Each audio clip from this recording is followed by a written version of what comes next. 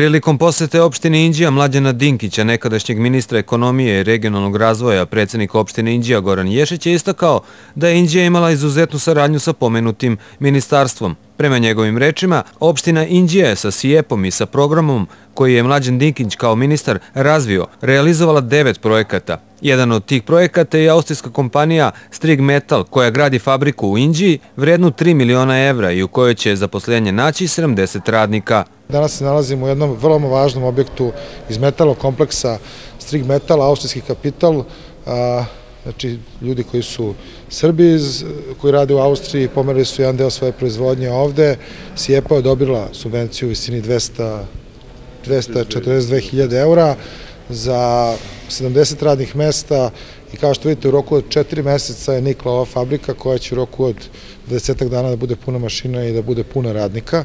Završetak radova na izgradnji fabrike Strig Metal se očekuje već u aprilu, izjavio je Mlađan Dinkić.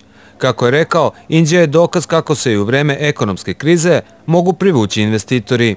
Evo, ovo je jedna od dvadesetak fabrika koje su građene u posljednjim godinama u Indiji i Indija je lider u Srbiji po broju novoizgrađenih fabrika, takozvani Greenfield investicija, po broju zaposlenih koji su došli na teritoriju jedne opštine.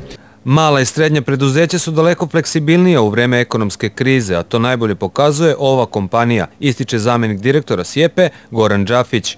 Posebno je zadovoljstvo kad se obiđe jedna firma koja pripada kategoriji malih ili srednjih e, preduzeća. Sjepa ukupno ima 183 projekta i uglavnom su to e, veliki projekti, ali 65% od ukupnog broja su prvenstveno domaće firme. Ovde jako se radi o inostranom kapitalu, firma je da kažem, šovitog karaktera i vlasnik je čovjek iz e, Srbije i e, malo i srednje preduzeće je kudi kamo fleksibilniji u doba velikih ekonomskih krize i ovde ne možemo, e, ne, ne plašimo se jednostavno ukoliko dođe do određenih poremeća da će doći do velikog otpuštanja radnika i ovako preduzeće se lako prestrukturiraju i započnu neku drugu privrednu delatnost. Inače, kompanija Stirg Metal se bavi preradom metala, uglavnom za šinsku industriju, što znači za vozove i tramvajska vozila.